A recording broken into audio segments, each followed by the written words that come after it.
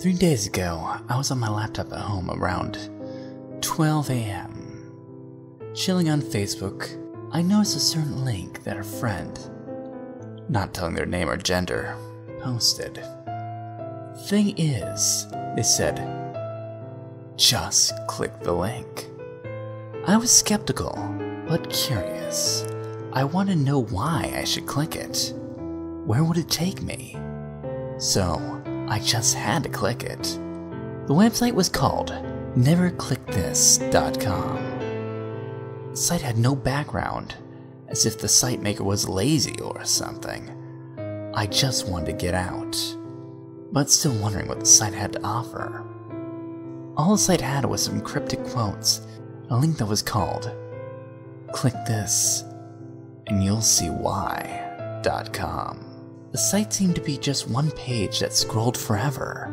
The scroll thing on the side was gone for some odd reason. Here were five quotes I'd read. The thing is, the site never told me who wrote these quotes. And the quotes themselves didn't make any sense, nor were, nor were related to each other. You'll find it when you lose it. The Lord gave us bread, and you ate it. Can you? The beast watches without eyes. Are ware no mata frima, Dr. P says. One believes they exist, but in fact don't exist. You. After reading these obscure quotes, I was wondering who the heck made these quotes, and what did they mean. I spent five minutes that day trying to figure out what they meant, but gave up and decided to click the link. Click this, and you'll see why. And that site explained why. I'll explain what I find there in the next update. Update. Many of you people requested an update in the post. So here it goes. So I clicked the link. Click here and you'll see why. It brought me to a site that was strangely had a background, and ironically, had various colors and shapes like circles and stars all over the place, as if the maker cared about looks. First, I assumed the maker of the site was a different person. Later, I discovered the makers of both sites were the exact same person. You'll see why in a bit.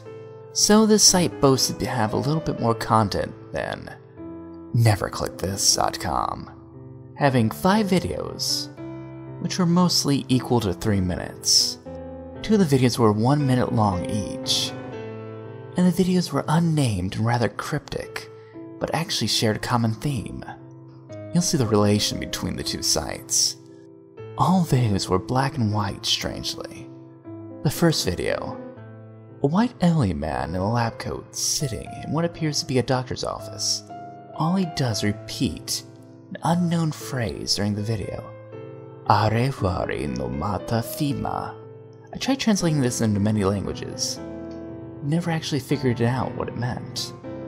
Five black people, two men, three women, all in their late 30s or early 40s, are in a church due to the fact I see a cross in the background, and the fact that the women look like nuns, the men are in suits. For the first minute, they stand quiet, almost unmoving, not even saying anything. After a minute passed, they all hold up bread for 30 seconds. And for 30 seconds they take bites out of the bread. The second minute they finish the bread. They all repeat in the same screaming unison voice, Can you? for the last minute. A one minute video which has an Asian girl at home. Maybe about five or six, looking at something. Maybe a doll or toy. For 55 seconds, she looks around the living room for an unknown object. Then, at, then for five seconds, she says this quote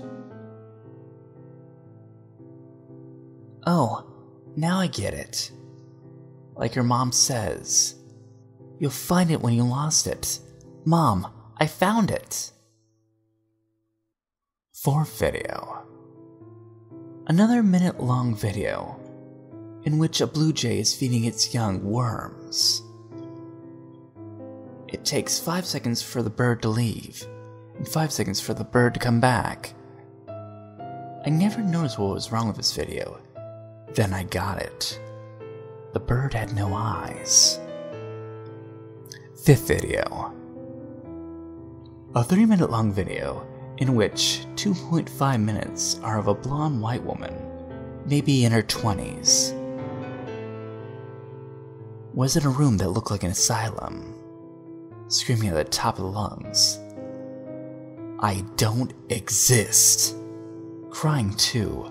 I assumed she had mental problems. The last 30 seconds are of five men holding her down. Before long, I figured it out. All the videos are related to quotes at neverclickthis.com. It had to be the same person who, who made Click This and You'll See Why that made neverclickthis.com the first site. I now know who made these sites, and I'll tell you in the next update.